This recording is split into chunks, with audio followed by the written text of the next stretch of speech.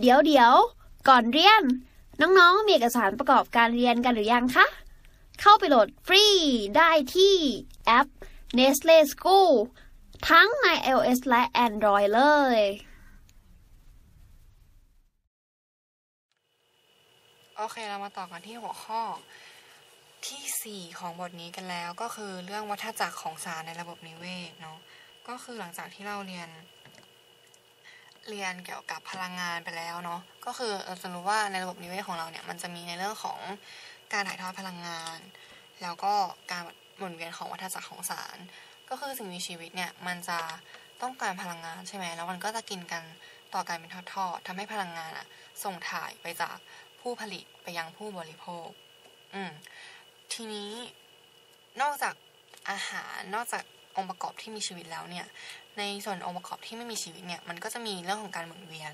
ก็เราจะเรียกว่าวัฏจักรก็อย่างเช่นพวกน้ำแสงแดดอะไรพวกเนี้ยแต่ว่าวัฏจักรที่เราจะเรียนกันเนี่ยก็จะมีหลักๆสองตัวด้วยกัน อันแรกก็คือวัฏจักรน้ำนะอันที่สองก็คือวัฏจักรคาร์บอน วัฏจักรน้ำเนี่ยก็คือวัฏจักรชื่อของมันก็บอกอยู่แล้วว่า cycle ใช่ไหมเพราะฉะนั้นมันก็ต้องเป็นอะไรที่ครบวงก็ มันก็จะมี อะเดี๋ยวเราให้ดูรูปอะอันนี้ก็จะเป็นรูปที่แสดงถึงวัฏจักรของน้ำใช่ปะเราจะเห็นว่า มันจะมีแหล่งน้ำก็คือทะเล แล้วก็มีแม่น้ำแล้วก็มีน้ำใต้ดินเห็นว่าน้ำในทะเลหรือว่าแม่น้ำเนี่ย มันอะถ้าได้รับความร้อนจากแสงอาทิตย์อะก็จะระเหยขึ้นไปเป็นไอน้ำแล้วก็อยู่ในชั้นบรรยากาศ ทีนี้ถ้ามันควบแน่นมันก็จะเกิดเป็นเมฆถูกไหมแล้วพออุณหภูมิมันตกลงมาต่ำมากๆอะหยดน้ำมันก็จะควบแน่น กันจนหยดมันใหญ่ขึ้นและตกลงมาเป็นฝน พอฝนตกลงมามันก็จะเป็นการถ่ายโอนจากน้ำในอากาศมาเป็นน้ำบนพื้นดิน แล้วน้ำบนพื้นดินเนี่ยมันก็อาจจะไหลลงสู่แม่น้ำหรือว่าอาจจะมาเป็นเขาเรียกว่าก็คือให้สัตว์ให้สิ่งมีชีวิตเอาไว้ดื่มได้ หรือว่าให้พืชเอาไว้ ดูดเข้าไปเพื่อที่จะสร้างเมตาบอลิซึมข้างใน แล้วพืชเนี่ยก็จะคายน้ำออกมาผ่านการออกมาเป็นไอน้ำเนาะ ส่วนสัตว์เนี่ยก็จะปล่อยน้ำออกมาผ่านการขับถ่าย ซึ่งการขับถ่ายของสัตว์ก็จะทำให้น้ำไหลสู่ลงใต้ดิน ก็เกิดเป็นน้ำใต้ดิน และน้ำใต้ดินก็สามารถขึ้นมาบนดิน ผ่านพวกช่องว่างต่างๆ ตามหินตามดินอะไรแบบนี้ได้เนาะ ก็จะเกิดเป็นวัฏจักรแล้วก็วนต่อไปเรื่อยๆ อแค่นี้เอง โอเค ไม่มีอะไร ต่อไปเป็นวัฏจักรคาร์บอน วัฏจักรคาร์บอนเนี่ย อาจจะซับซ้อนขึ้นมาหน่อยนะก็คือคาร์บอนเนี่ย มันเป็นองค์ประกอบหลักของสิ่งมีชีวิตเลย สิ่งมีชีวิตเนี่ย ก็จะมีคาร์บอนเป็นองค์ประกอบ เพราะฉะนั้นเขาก็เลยใช้คาร์บอน 14 ในการตรวจวัดอายุของวัตถุโบราณหลายชนิดได้นั่นเองนะแล้วก็ เราก็มาดูภาพนี้เลย อะ อันนี้ก็จะเป็นภาพที่แสดงถึงวัฏจักรคาร์บอนนะ ก็จะเห็นว่ามันจะมีทั้งส่วนที่อยู่ใต้ดิน ส่วนที่อยู่บนดิน แล้วก็ส่วนที่อยู่ในอากาศนะ ก็คือเริ่มแรกเลยก็คือ ต้นไม้เนี่ย มันจะทำหน้าที่สังเคราะห์แสงใช่ไหม โดยการสังเคราะห์แสงของมันเนี่ย ก็จะต้องอาศัยคาร์บอนไดออกไซด์ในการสร้าง ผลิตภัณฑ์ขึ้นมาก็คือ เพราะฉะนั้นคาร์บอนไดออกไซด์ที่อยู่ในอากาศเนี่ยก็จะโอนเข้าสู่ต้นไม้ได้จากกระบวนการสังเคราะห์แสง ทีนี้พอมันสังเคราะห์เสร็จอะมันก็จะเก็บไว้ในรูปของอาหาร เก็บไว้ตามลำต้นใบไม้ต่างๆ แล้วพอมีสัตว์มีผู้บริโภคมากินเนี่ยมันก็จะส่งต่อคาร์บอนเข้าสู่ตัวของสัตว์ หรือว่าผู้บริโภคตัวนั้นได้ ทีนี้พอต้นไม้กับสัตว์ ตายลง มันก็จะเกิดเป็นซาก ซึ่งซากนั้นเนี่ยก็จะประกอบไปด้วยคาร์บอน แล้วซากนั้นก็จะทับถมกันตามดินแล้วก็ลงไปเรื่อยๆ จนกลายเป็นซากของสิ่งมีชีวิต ซึ่งซากพวกนี้เนี่ยเมื่ออยู่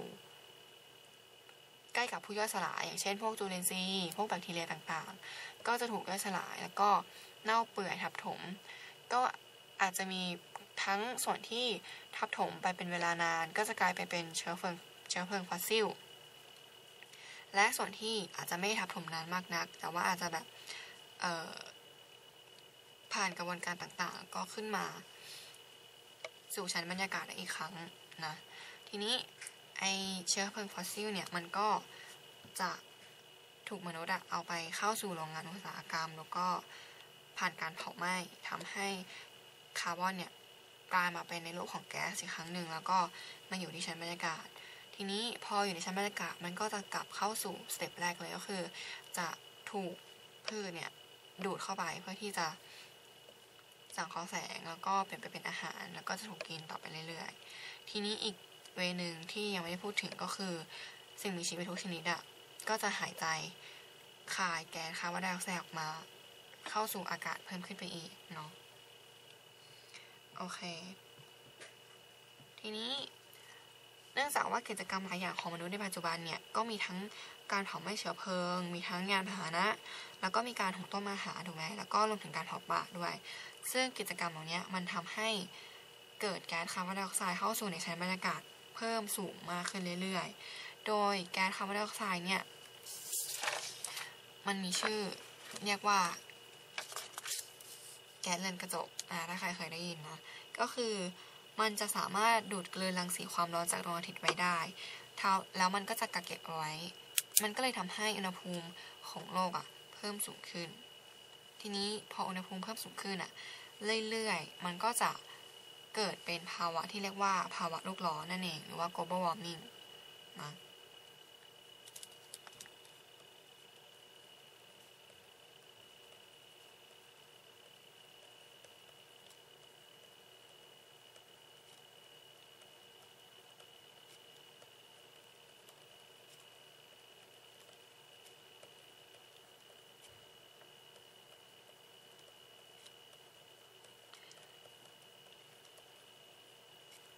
นอกจากคาร์บอนไดออกไซด์แล้วเนี่ย มันก็ยังมีแก๊สประเภทอื่นๆอีก อย่างเช่น มีเทน โอโซน ไนตรัสออกไซด์ ซึ่งแก๊สพวกนี้ก็สามารถกักเก็บความร้อนไว้ได้เช่นเดียวกัน เราจะเรียกแก๊สเหล่านี้ว่าแก๊สเรือนกระจก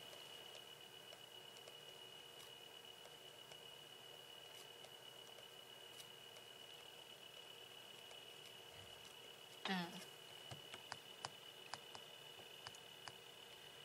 โอเค ทีนี้เราได้เรียนเรื่องการถ่ายทอดพลังงานไปแล้ว การหมุนเวียนของสารไปแล้ว เราก็จะมาดูความสัมพันธ์ระหว่างสองอย่างนี้นะก็คือเราได้เห็นแล้วว่าองค์ประกอบที่มีชีวิตแล้วก็ไม่มีชีวิตในระบบนิเวศเนี่ยมันสัมพันธ์กันก็คือเกิดการเป็น จะมีทั้งการถ่ายทอดอาหารอ่าถ่ายทอดพลังงานแล้วก็การหมุนเวียนสารนะซึ่ง โดยทั่วไปแล้วเนี่ย ระบบนิเวศอะมันจะมีการเปลี่ยนแปลงอยู่ตลอดเวลา ถ้าองค์ประกอบและความสัมพันธ์ของสิ่งมีชีวิต และสิ่งไม่มีชีวิตเป็นไปแบบปกติเนี่ย ระบบนิเวศก็จะอยู่ในภาวะสมดุล แต่ถ้าหากว่ามันมีสิ่งรบกวนนะก็จะทำให้เกิดการเปลี่ยนแปลงเกิดขึ้นในระบบนิเวศ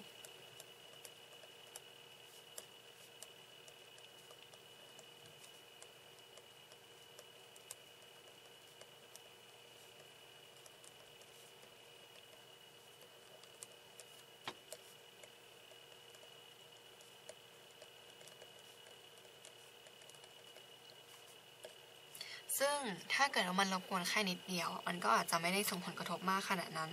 แต่ถ้าสิ่งรบกวนนั้นอะมันมีความรุนแรงมาก มันก็จะทำให้ปริมาณแล้วก็การกระจายของสิ่งมีชีวิต ทั้งผู้ผลิตผู้บริโภค แล้วก็ผู้ย่อยสลายเนี่ยรวมถึงสารอินทรีย์ต่างๆด้วยนะ เปลี่ยนแปลงแล้วก็เกิดเป็นภาวะภัยพิบัติบางอย่างได้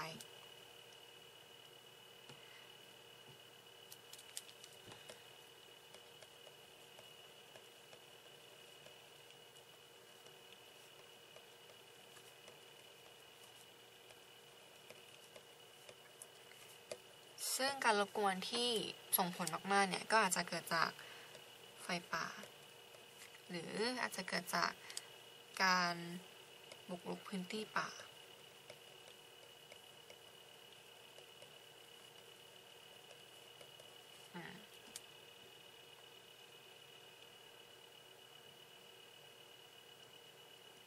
โดยระบบนิเวศที่เราได้เรียนมาทั้งหมดเนี่ยเป็นระบบที่แสดงความสัมพันธ์ในพื้นที่แคบๆใช่ไหมแต่ในโลกของเราอะ่ะมันมีทั้งระบบนิเวศนู่นนี่นั่นแบบหลายอย่างมากเลย ไม่ว่าจะเป็นทะเลทรายบ่อน้ำต้นไม้ ซึ่งเราเรียกระบบนิเวศทั้งหมดนี้รวมกันใหญ่ๆนะว่าชีวภาพ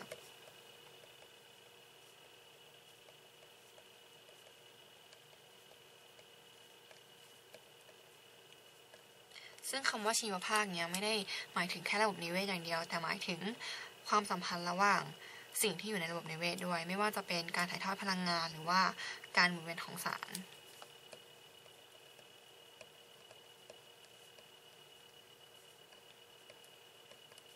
เราก็จะเรียกว่าชีวภาค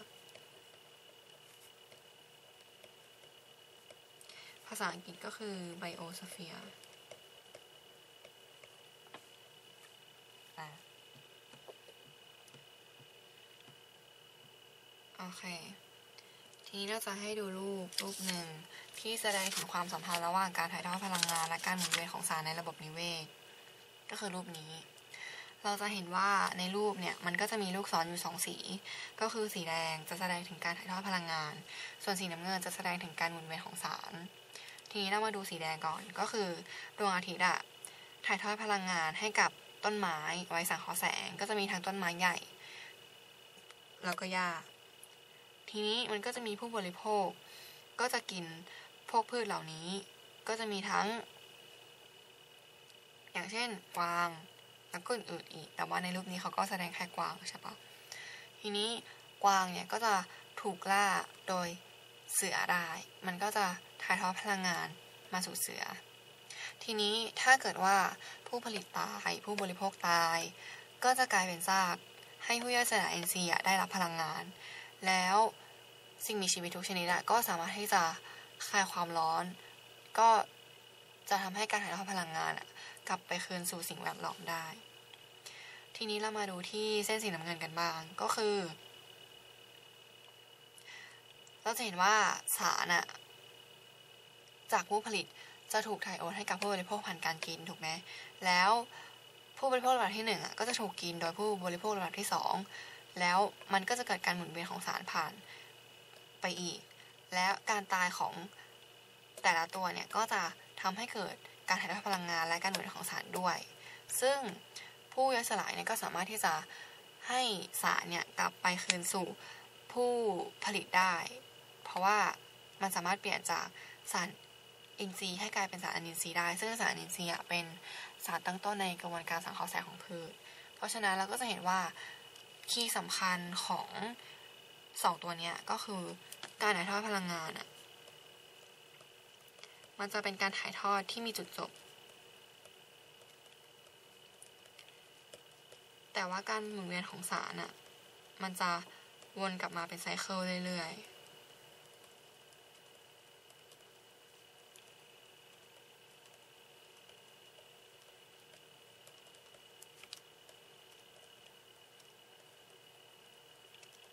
ไม่มีจุดจบ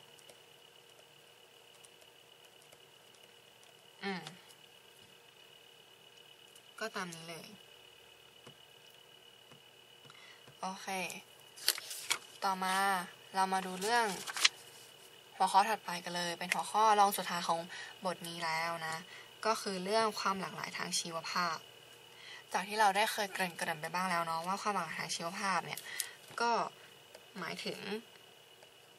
จำนวนของชนิดของสิ่งมีชีวิตที่อยู่ในระบบนิเวศนั้นๆ หรืออาจจะพูดอีกในหนึ่งได้ว่า เป็นการที่ระบบนิเวศหนึ่งเนี่ยมีจำนวนมีจำนวนชนิดของสิ่งมีชีวิตมากๆ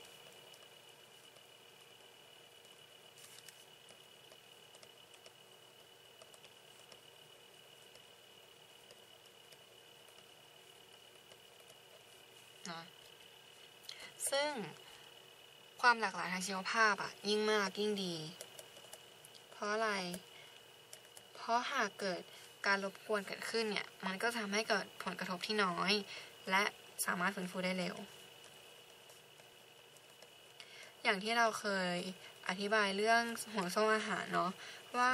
ถ้าเกิดว่ามันมีสิ่งมีชีวิตชนิดหนึ่งอะหายไป การที่มีจำนวนชนิดของสิ่งมีชีวิตมากอะ ผลกระทบมันก็จะรุนแรงน้อยกว่า แล้วมันก็สามารถที่จะฟื้นฟูกลับมาเข้าสู่สมดุลได้เร็วนะซึ่งเขาก็ได้มีการแบ่งระดับความหลากหลายอะไปเป็นสามระดับ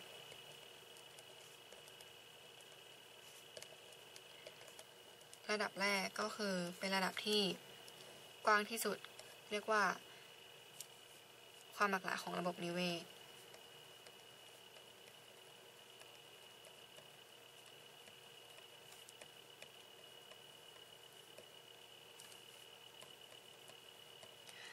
ระดับที่สองเนี่ยก็จะเป็นความหลากหลายของชนิดสิ่งมีชีวิต ก็จะเล็กลงมาหน่อย ถ้าเป็นความหลากหลายของระบบนิเวศเนี่ยก็อาจจะแบบหมายถึงว่าระบบนิเวศมีแบบไหนบ้าง เช่นทะเลทราย ป่าไม้หรือว่าทะเลมหาสมุทรปะการัง แม่น้ำอะไรแบบนี้เนาะแต่ถ้าพูดถึงความหลากหลายของชนิดสิ่งมีชีวิตเนี่ยก็จะหมายถึง ชนิดเลยแบบสิงโตเสือ หรือว่าเป็นสปีชีส์มีสิ่งมีชีวิตกี่สปีชีส์แบบนี้เป็นต้น สุดท้ายก็จะเป็นความหลากหลายทางพันธุกรรม ก็จะพูดถึงว่าในสิ่งมีชีวิตชนิดเดียวกันมันก็มีความแตกต่างกันของแต่ละตัวใช่ไหมขึ้นอยู่กับพันธุกรรมของตัวนั้นนะก็อันนี้จะไล่จากสเกลใหญ่มาสเกลเล็ก อืม ซึ่งถ้าเกิดการเปลี่ยนแปลงกับความหลากหลาย ชนิดใดชนิดหนึ่งอะมันก็จะส่งผลกระทบถึงความหลากหลายของระดับอื่น ๆ ตามไปด้วยเนาะเพราะว่าทุกอย่างเนี่ยมันเกี่ยวข้องกันหมดเลยโอเค ต่อมาเรามาถึงหัวข้อสุดท้ายของบทนี้กันแล้ว ก็คือเรื่องประชากรนั่นเอง ก็คือจากที่เราเรียนมาทั้งหมดอะเราจะพูดถึงว่า ในระบบนิเวศของเราอะมีสิ่งมีชีวิตหลายชนิดใช่ปะแต่ในหัวข้อนี้เราจะพูดถึงสิ่งมีชีวิตแค่ชนิดเดียวเท่านั้น ซึ่ง กลุ่มสิ่งมีชีวิตชนิดเดียวที่อาศัยอยู่ในที่เดียวกันในเวลาเดียวกันน่ะเราก็จะเรียกว่าประชากร เพราะฉะนั้นประชากรก็คือ สิ่งมีชีวิตชนิดเดียวกัน ที่อยู่รวมกันนั้น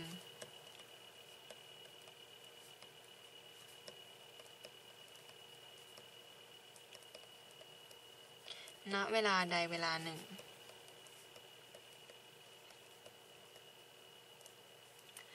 โดยการศึกษาประชากรเนี่ยเขาก็จะสนใจ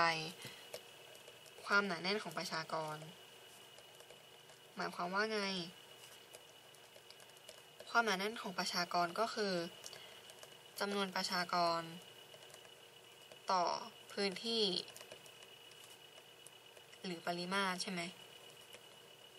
ทำไมต้องเหรือปริมาตร ก็คือเราก็ต้องดูว่าประชากรที่เราสนใจอะอาศัยอยู่ในไหน อย่างเช่น ถ้าเราสนใจมดบนพื้นหญ้าอย่างเงี้ยเราก็จะหาความหนาแน่นประชากรเป็นหน่วยตัวต่อพื้นที่กี่ตารางเมตรก็ว่าไป แต่ถ้าเราสนใจปลาอย่างเงี้ยปลาอยู่ในน้ำใช่ปะซึ่ง มันไม่ได้อยู่แค่ผิวน้ำอย่างเดียว หรือมันไม่ได้อยู่แค่ก้นบ่ออย่างเดียว แต่ว่ามันสามารถอยู่ได้หลายเลเยอร์ เพราะฉะนั้นถ้าเป็นสิ่งมีชีวิตที่อยู่ในน้ำอะเราก็จะวัดหน่วยเป็นปริมาตร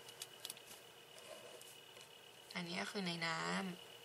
ำส่วนอันนี้ก็จะเป็นบนพื้นดิน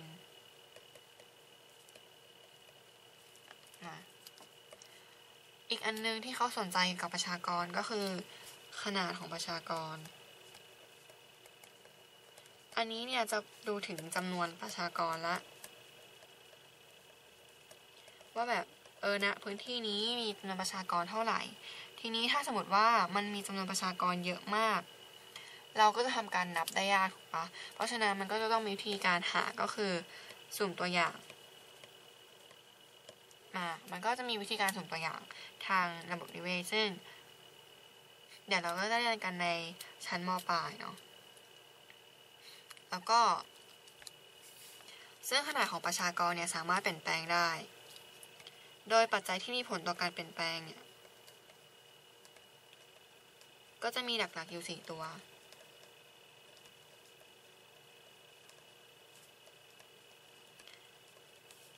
อะอันแรกเลยก็คือ เปลี่ยนแปลงแบบขึ้นเพิ่มขึ้นก็คือทำยังไงนะประชากรถึงเพิ่มขึ้นได้ ก็ต้อง อาจจะ